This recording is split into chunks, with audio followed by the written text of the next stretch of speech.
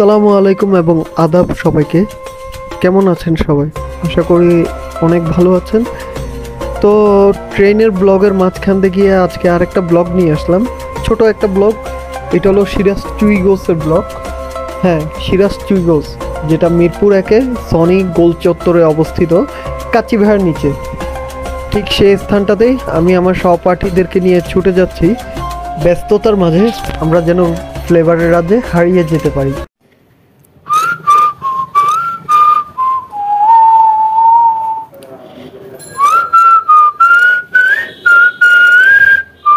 ব্যস্ততার মাঝে হালকা ব্রেকে আমি রাহিম শুভ এবং ইয়াসিন মিলে চলে আসলাম সিরাজ চুইগোসে তো আমরা সবাই বসে পড়লাম।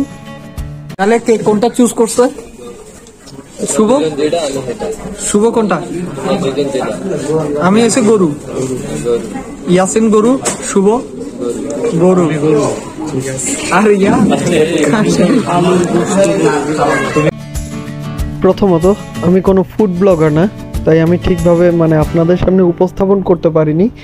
এই পর্যন্ত আমি ওখানের মধ্যে দুবার গিয়েছি আপনার চুই গোস খেতে।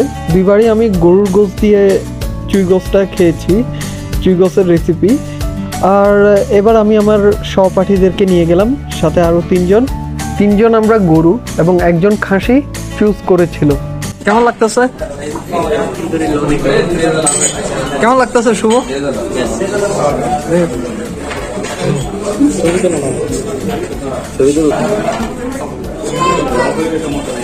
কিন্তু সেও পরে খাসিতেই পরিবর্তন হলো। আর এখন আমাদের সামনে দেওয়া হলো সাদা ভাত, যেটাকে আমরা হোয়াইট রাইস বা স্টিম রাইস হিসেবে ধরে থাকি। তার সাথে সালাদ যেখানে লেবু শশা গাজর রয়েছে। আর এরপরে চলে আসলো আমাদের সে বিশ্ববিখ্যাত সিরাজের চুই গোস্তের মেইন গরুর গোস্ত। তো এখানে আপনাকে এক পিস চুই গোস্ত সাথে রসুন এবং চুই ঝালটা দেওয়া হবে। চুই ঝালটা অনেক ঝাল, এটা খুলনার একটা মানে রান্নার উপকরণই ধরতে পারেন, কিন্তু এটা অনেকটাই ঝাল। তো এর সাথে তো ঝোলটা রয়েছে, ঝোলের উপরে এইসব রান্নার মধ্যে তেল থাকবে, এটা স্বাভাবিক। তো এটা নিয়ে বলার কিছুই নেই।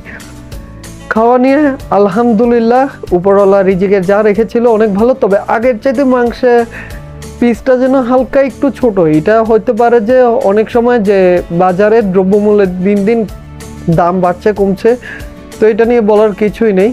আর এর সাথে চাইলে আপনারা হাড়ের হাড়ওয়ালা মাংস মানে হাড়ওয়ালা গোস্ত কিংবা একদম সলিড পিসের গোস্ত বা চর্বিযুক্ত গোস্ত যা ইচ্ছা আপনারা এটা চুজ করতে পারবেন। আর গরুর মাংসে আমাদের চারজনের মধ্যে একজন বা দুজনেরটা হালকা একটু শক্ত পড়েছিল।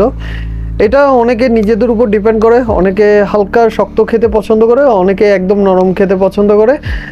কিন্তু আমি যদি রেটিং দিতে যাই, আজকে দিব দশে সাড়ে সাত মানে আমরা যখন খাওয়া শেষ হলো খাওয়া নিয়ে আমাদের কোনো অভিযোগ নেই। আলহামদুলিল্লাহ, রিজিকে যা রেখেছিল, তাতেই সুক্রিয়া আদায় করা চলে। কিন্তু দিন শেষে আমরা যখন হাতটা ধুতে গেলাম, খাওয়ার পর, ট্যাপে পানি ছিল না, আবার ওনাদের কিন্তু মানে কি, যারা সার্ভিস দেয় আমাদেরকে, ওনারা বোতলে বোতলে পানি রেখেছিল, সেটা দিয়ে আমরা হাত ধুয়েছি, আবার ট্যাপে ফোটে ফোটে পানি আসছিল। মানে খুব যে শেষ হয়ে যাচ্ছে এখনই। সেরকম পানি আসছিল। হয়তোবা টাঙ্কির পানি এনি টাইম শেষ হতে পারে, কিন্তু এই বিষয়ে খেয়াল রাখতে হবে। কারণ সবগুলো কাস্টমার তো আর তো সেম না না? সবাই তো সমানভাবে সব কিছু নিবে না। তাই আপনাদের এই বিষয়টা কিছুটা খেয়াল রাখলে ভালো। এছাড়া আর কোনো অভিযোগ নেই। সার্ভিসের ব্যাপারে একশোতে দুশো দিব। খাওয়ার ব্যাপারে আলহামদুলিল্লাহ। আর শুধু পানির ব্যাপারে, তা তাই পানিটা একটু খেয়াল রাখবেন। আর এটা খাসির এবং এটা হলো গরুর। এখন হলো বিলের পালা। আমাদের চারজনের বিল এসেছিল সাতশো ষাট টাকা, যা আলহামদুলিল্লাহ যথেষ্ট অনেকটাই রিজনেবল চারজনের হিসেবে। তো এখন আমরা আস্তে আস্তে বের হব বিলটা পরিশোধ করার পর। সব কিছু ঠিক ছিল, শুধু পানিটা নিয়ে অভিযোগ ছিল। তো তাই একটা রেস্টুরেন্টে পানি শেষ হয়ে যাওয়া অনেক বড় কিছু। আশা করি নেক্সট টাইম থেকে পানির বিষয়ে খেয়াল রাখা হবে। এছাড়া আপনাদের খাওয়া নিয়ে কখনো কোনো অভিযোগ ছিল না। আর তার পাশাপাশি সার্ভিস নিয়ে তো অভিযোগ নাই। এইটার জন্য আলহামদুলিল্লাহ। কেমন লাগল? তোমার?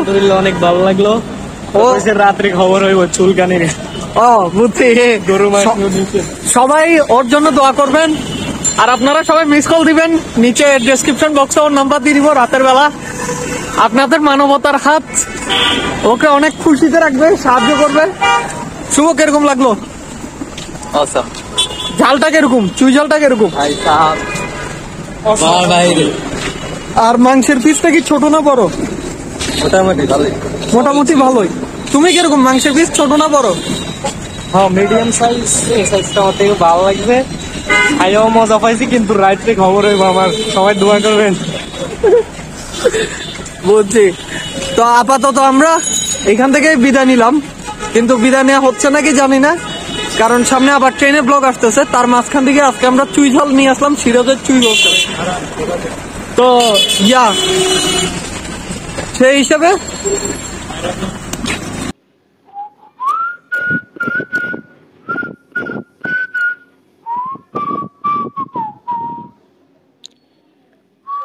দেখতে দেখতে আমরা শেষ পর্যায়ে চলে আসলাম। এখন আমাদের উপসংহারের পালা। কিন্তু শহরটা কত সুন্দর, তাই না? শহরটা শহরের মতোই সুন্দর, গ্রামটা ভিন্ন রকম সুন্দর।